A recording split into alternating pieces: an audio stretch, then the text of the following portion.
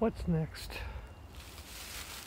I'm thinking about common sense and why it's so hard to find, why it's so difficult to see and find in life, and I might go on a rant against schools. Might be government indoctrination, but I'll try to maintain a level head. Why is common sense so hard to find? Well, one thing I know is when you have common sense, you have to think about things. You have to consider the options. You have to think about what the potential is from the information you have and use it from prior knowledge. Because if you have common sense, you have to use your own knowledge. And to not use your common sense, you basically it's kind of easier because you're less likely to think about it and you just go with the information that's already readily, readily available from what others have told you. Most likely, people who are supposed to be in the know, whether it be media or adults, people older than you, people who have more experience than you, experts. Basically, common sense, you think for yourself, not so common sense. You let others think for you. And I'm not saying you have to fight against what others say. Just saying you just have to think about it. You don't have to be argumentative. You just have to be contemplative, contemplative, whatever. You have to think about what you say. You have to think about what you're hearing and use it from what you know. And basically common sense is, is exhausting sometimes because the information that's in front of you indicates something else but your knowledge you look at it and you're saying this doesn't quite add up to me from my knowledge. You have to trust in yourself. And humans are kind of a herd animal. I mean basically our our heritage heritage our evolutionary path involved living in a society where we rely on each other for information.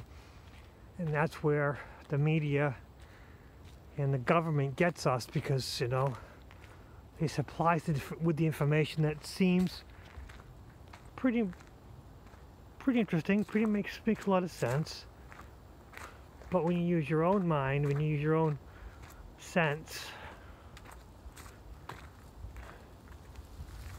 you realize that the information quite doesn't add up to you. But you can't put your finger on it. And hell, you're not an expert. I'm not an expert on everything, so I can't know everything. That's where they get you. I believe that we have enough information about a lot of things we run into life that we can make an informed de- de- decision what we already know. I mean, uh, like sports, we as a male, I'm encouraged to follow sports. Uh, you know, it's uh, you know they're physical beings. You know, they're high high physics. You know, they're you're using their their bodies. They're using their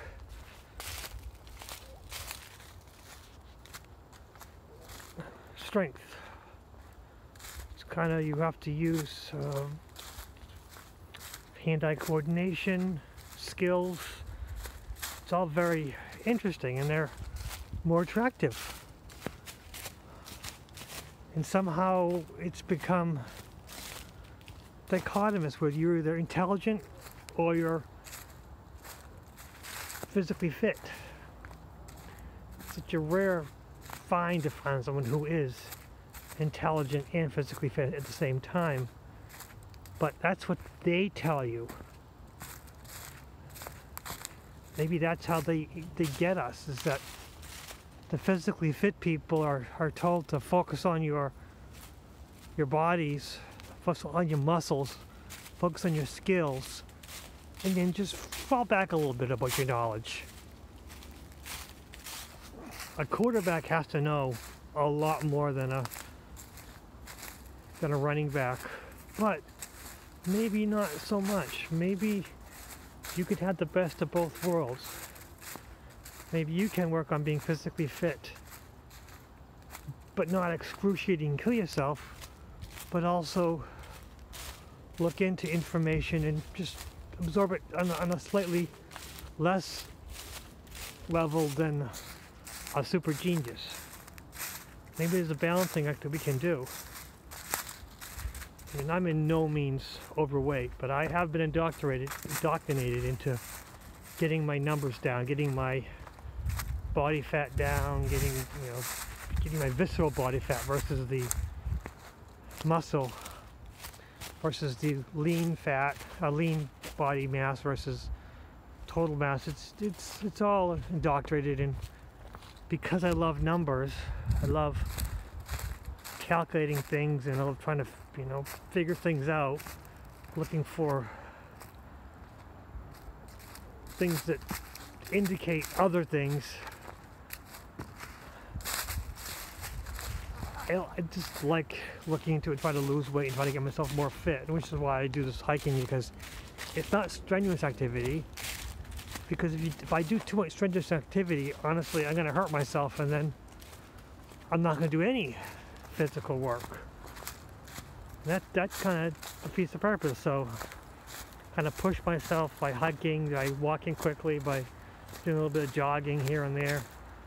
Walking in the woods because I am a biologist at heart and I love to see the animals, birds, uh, the foxes and the deers and I coyotes. Although I don't want to run into coyotes.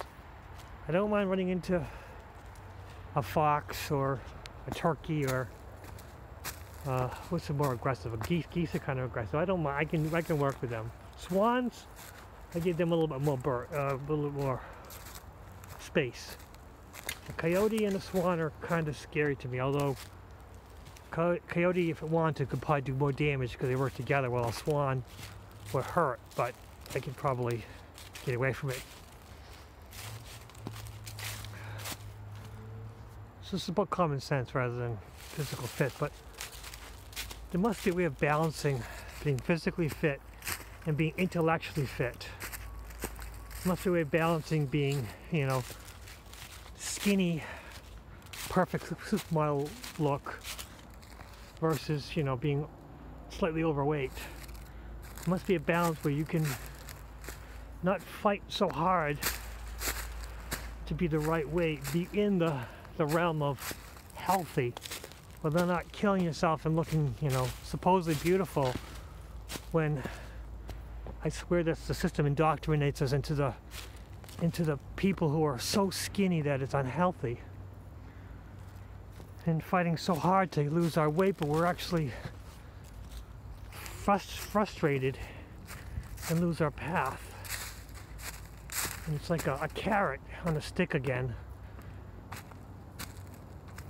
But the skinny supermodel that tell you, oh, you can get to here, everyone can get to here. Unfortunately, no. We're not all built like that. I've always been thin in my life, but I never got the six-pack abs. That was that was a frustrating thing when you're a skinny kid who do you know active, running, playing in the woods, playing baseball, and wasn't good at football, but playing baseball and just running. I never got the abs because just my body was not made for it. I never quite understood that. And maybe that's what they do to us, that we they give us unattainable goals, but we should convince us that they are attainable. Someone who's overweight, you know, they get so disenchanted and and lose focus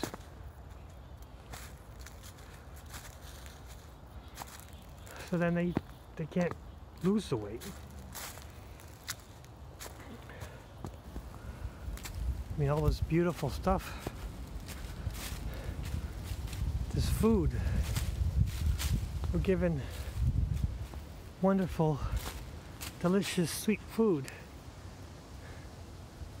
Genetically, we're, we're set to look for, you know, colorful fruits, and vegetables and sweet.